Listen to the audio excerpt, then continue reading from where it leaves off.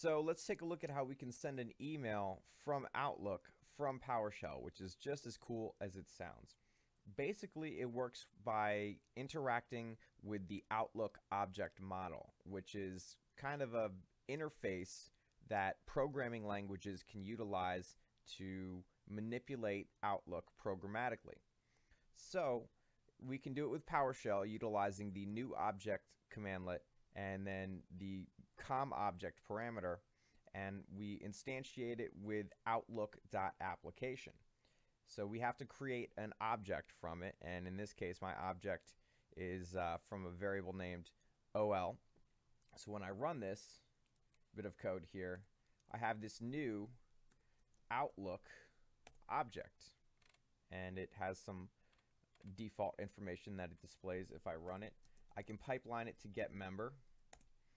And you'll see that like many objects it has a lot of things associated with it. Events methods properties. If I want to find out which version of Outlook I'm using I can use ol.version and that's a property in there that has the version of Outlook. Now there's a lot of stuff you can do with that but what we want to do is focus on sending an email. So we need to use a method in here somewhere in here called create item now, there's lots of different items in Outlook and you interact with them all the time. You just interact with them through the GUI interface. So let's look at the objects that you can create through the Outlook object model. You have appointment items, contact items, journal items, note, task items, things that you're familiar with in Outlook.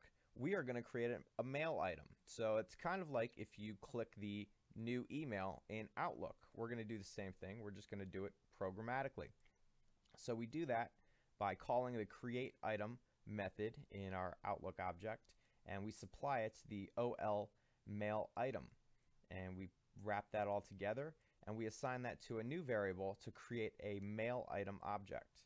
So when I run this bit of code and we look at that new mail item object, you'll see that it has many properties as well. All of these are uh, default properties.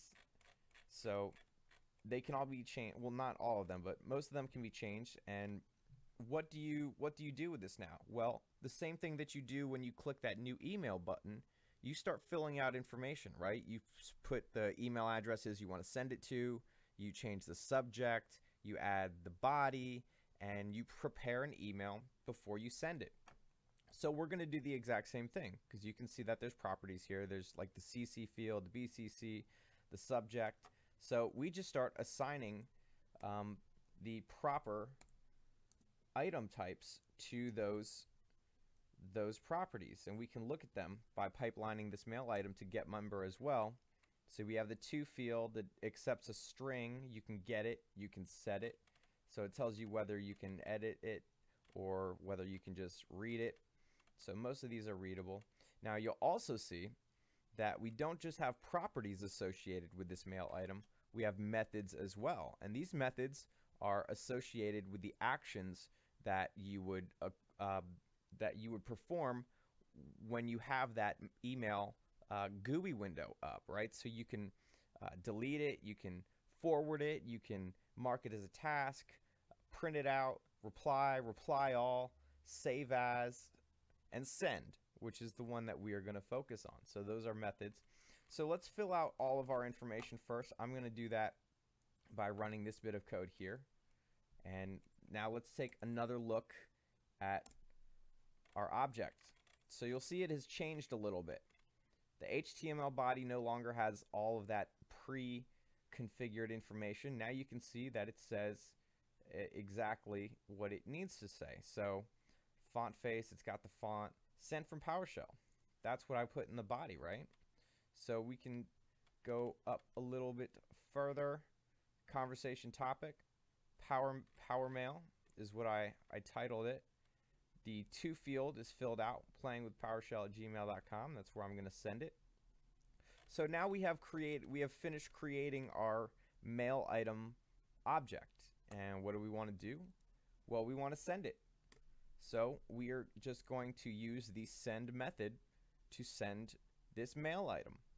And I'm going to show you it working in Outlook itself. So I have this delay here.